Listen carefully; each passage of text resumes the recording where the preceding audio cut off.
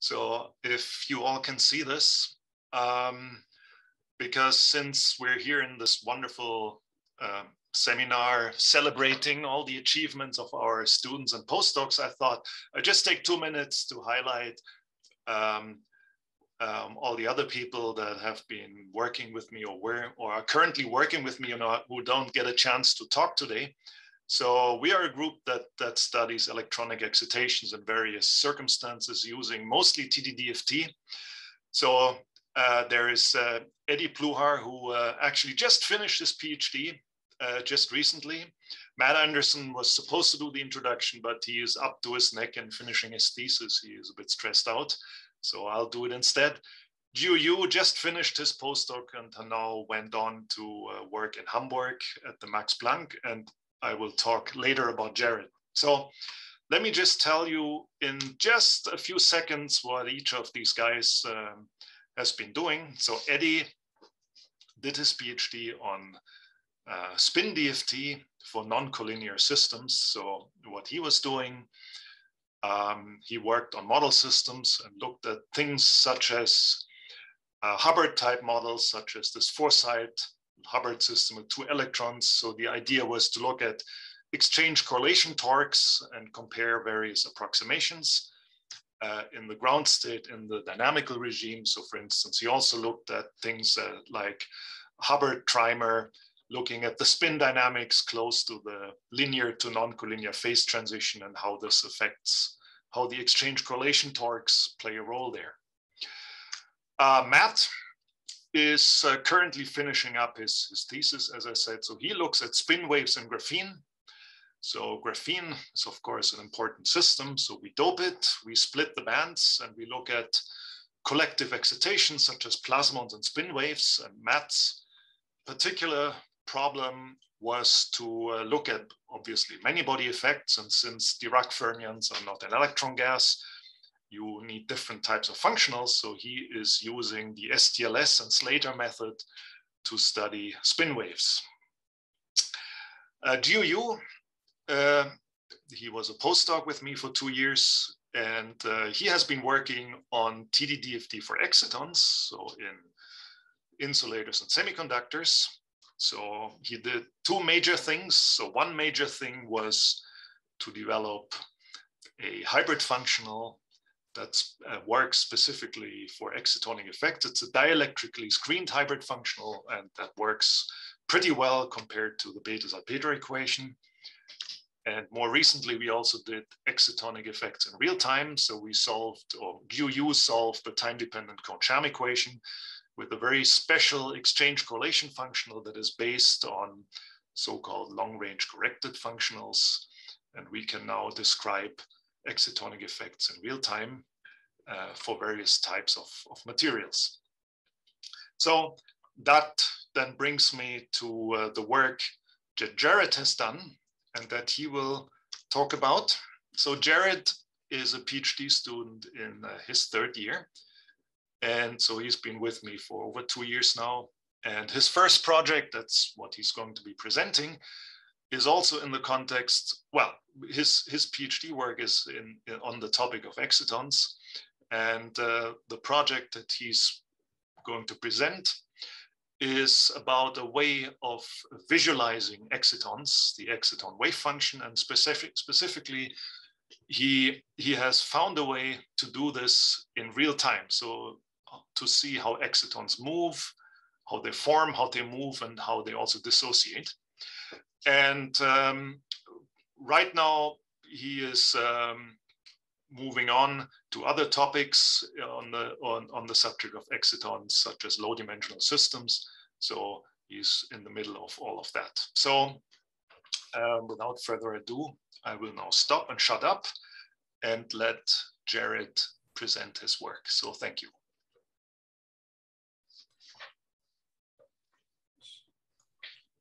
All right, uh, thank you.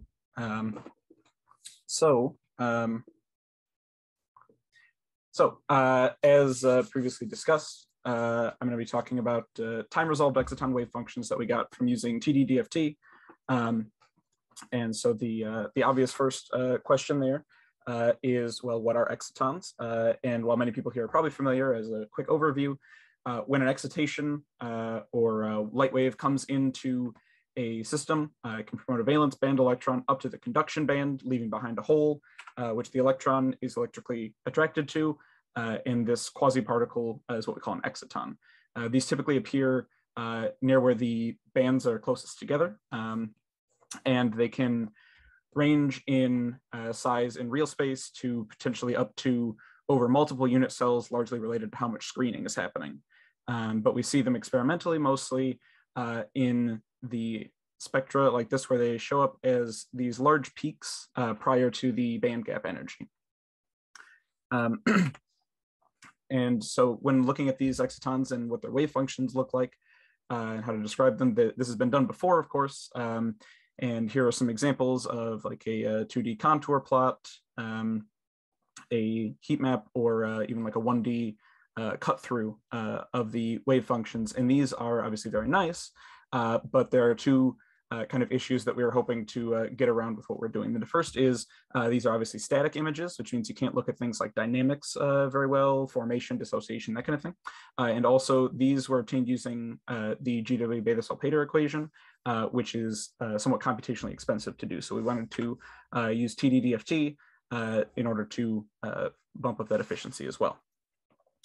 so to lay some groundwork, uh, we're looking at uh, what's called the TDM or transition density matrix, uh, which is essentially a mapping from the ground state uh, to an excited state via the one body density matrix operator. Uh, and this quantity is what's going to uh, come out as the, the exciton wave function. And so in practice, there are really two ways to solve this. the first is a linear response method using something such as the Casida equation shown here, defined in terms of these two uh, matrices that make up well, parts of this matrix. Uh, and you can see this depends on the, uh, the uh, orbitals as well as uh, the uh, kind of Hartree and exchange correlation terms. and when you solve this, you can calculate something called the transi transition density, which is, as the name implies, the density of transitions from some occupied unexcited state to an unoccupied, unoccupied excited state. Uh, and by extension, uh, this can be taken where uh, the only difference between this and the previous expression is the uh, insertion of these primes on two of these R's uh, to define uh, what we call the Kohn-Sham TDM.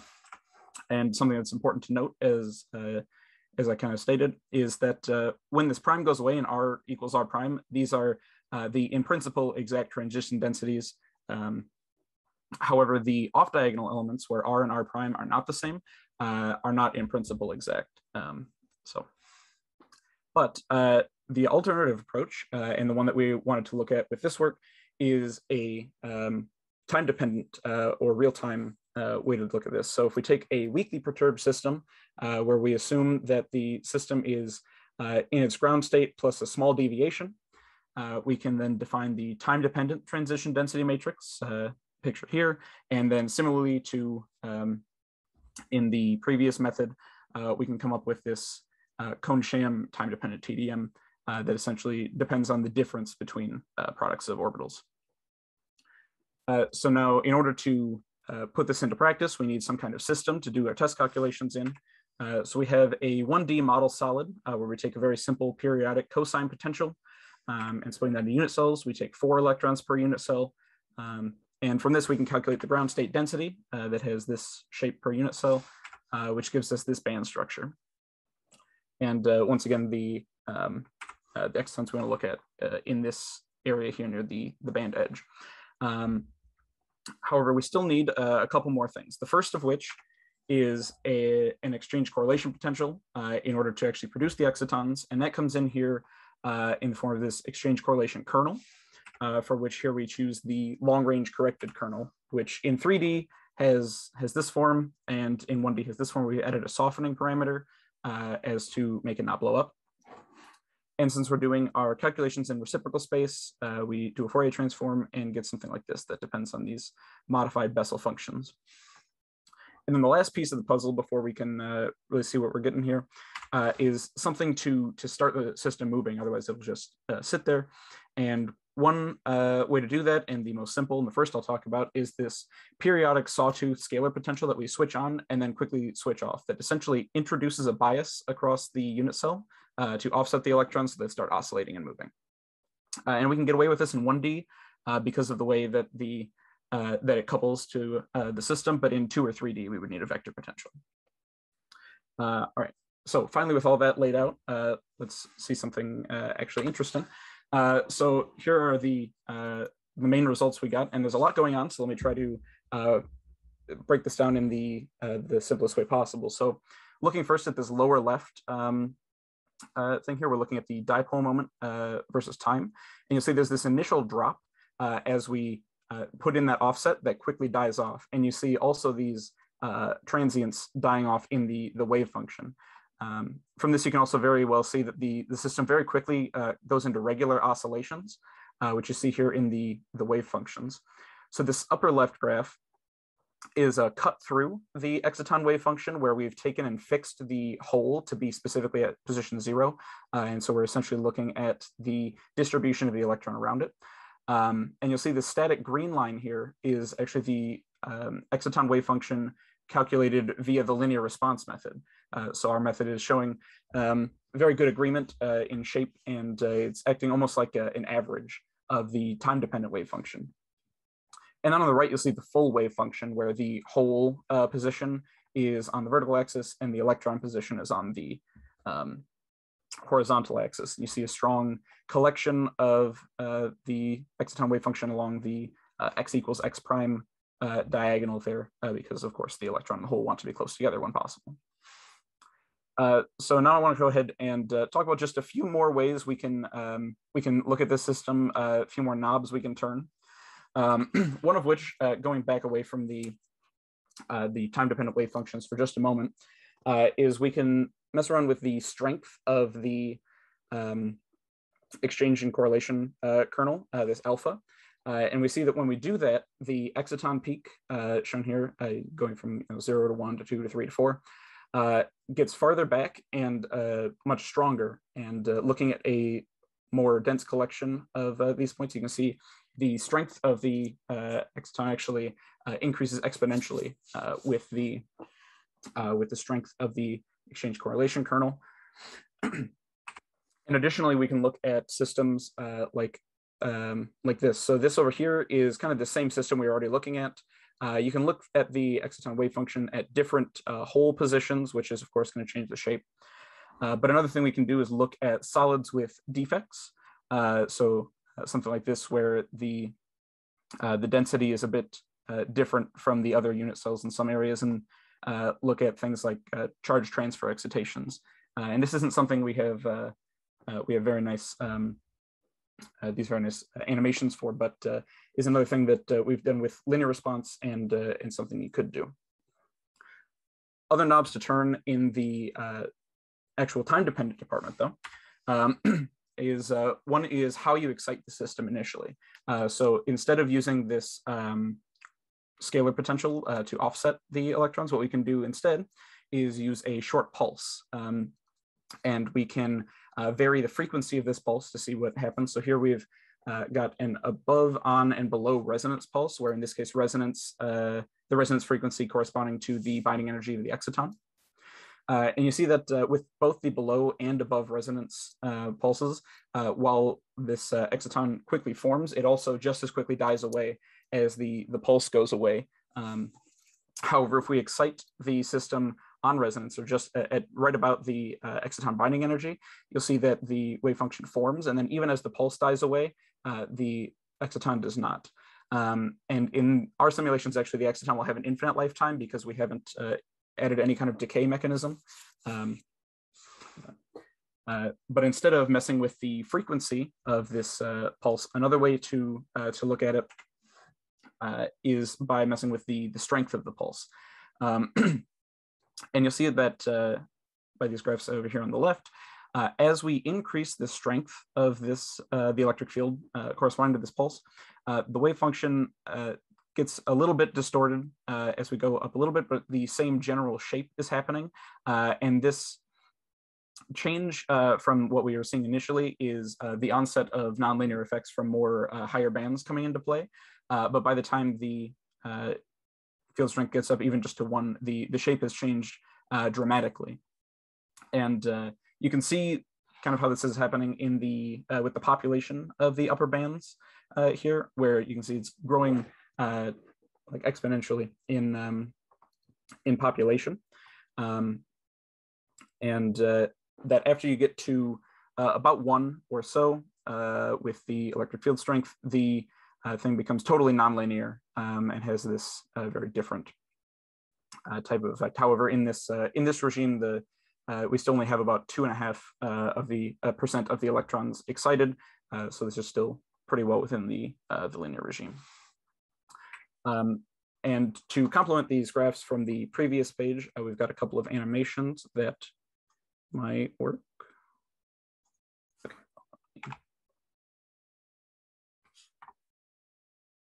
There we go. Okay. Um, so you can see that uh, at a fairly low um, electric field strength, uh, the exciton forms pretty much instantly uh, and keeps its same form. A few wiggles dying out uh, from the uh, initial pulse uh, leaving, but overall keeping roughly the same form. And as we increase the field strength by 10 orders of magnitude, or by one order of magnitude, sorry, the same thing kind of happens. And though uh, the shape is roughly the same, these are all scaled. Uh, so this is 10 times as tall. And the same is going to be true here at e equals one. And where we saw those nonlinear effects coming in earlier, we can now see this is causing these um, uh, kind of oscillations back and forth uh, of the wave function. And though it still is keeping the same general shape, um, is uh, obviously different than these. And by the time we get uh, all the way up to this uh, uh, very large electric field, no longer is the shape even really reminiscent of the exciton wave function. And is we're very clearly outside the, the linear regime at this point. So the last little uh, example I wanted to, to, wanted to discuss uh, a bit before I'll uh, give some conclusions and uh, and open the floor for questions uh, is this um, calculation we've done where now in addition to this exciting pulse uh, coming in with different field strengths, we've also introduced a static electric field across the across the wave function or the um, unit cell.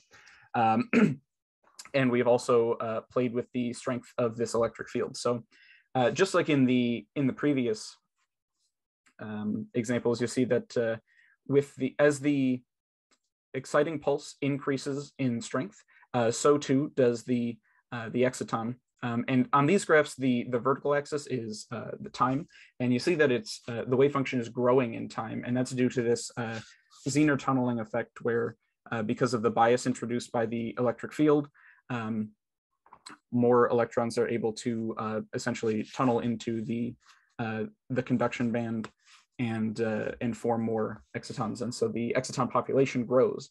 Um, however, uh, you also see that as the static electric uh, electric field increases in strength, uh, we also see kind of this smearing out of the wave function to one side, um, and this is essentially the electric field attracting the two different ch- differently charged uh, carriers in different directions trying to pull the excitons apart. So we actually have uh, kind of both a uh, exciton population increasing uh, effect as well as a, an exciton dissociation effect happening uh, at the same time.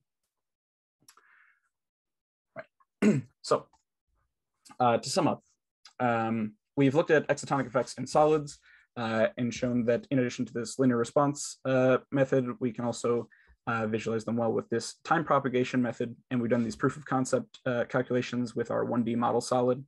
Um, and we visualize them in a number of ways.